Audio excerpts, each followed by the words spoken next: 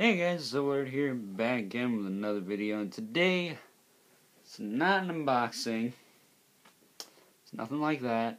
Today, we are entering a contest from the man himself, Count Stankus. Now, Count Stankus has a lot of uh, various videos on his channel. He does Toy Room Insanity, uh, now the Underworld vlogs, and uh, lots of other stuff. Uh, he does some stuff with Adam the Woo and all that noise, but yeah, I mean, some windshield wipers on these things.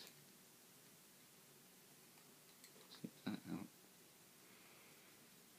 Yeah, that helped substantially.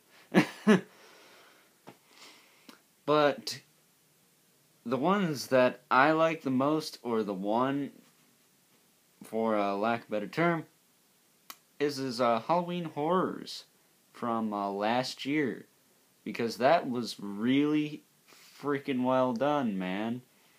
Uh, that was the year I believe he did the haunted house, and then he'd scare the crap out of people as they walked out. But yeah, that was really professionally done.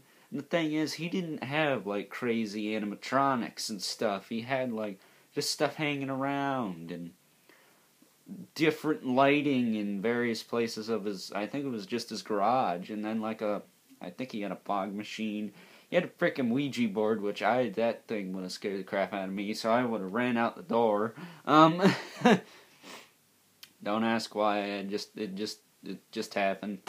Um, but yes, his Halloween Horror Nights from last year um, is probably my favorite video of his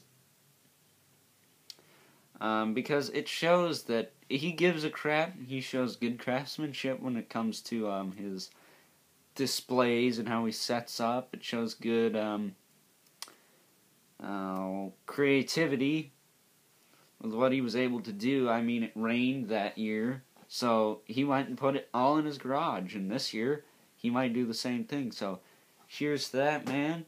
And I hope you can eventually reach a hundred thousand subs like the other big shots on YouTube. Not to be named. But yeah, um, other videos of his I liked. I loved when he would unbox the Imaginext figures. That was hilarious. Um, I like all his horror, excuse me, reviews. All the different Universal Monsters figures. Um, and honestly, the backstory behind your He-Man stuff. That really sucks. And uh, another one I liked was you and Adam the Woo and Toys R Us. That was hysterical. But Halloween Horror Nights, my number one, because it shows your skill in creating a haunt that could scare the crap out of people and it doesn't even do anything. They found me. Helicopter outside. I guess I better hurry this up. So. Congrats on 1,000 subs, man. And if you haven't already, check out Count Stankus. I will leave his link in the description below, of course, when I edit this video.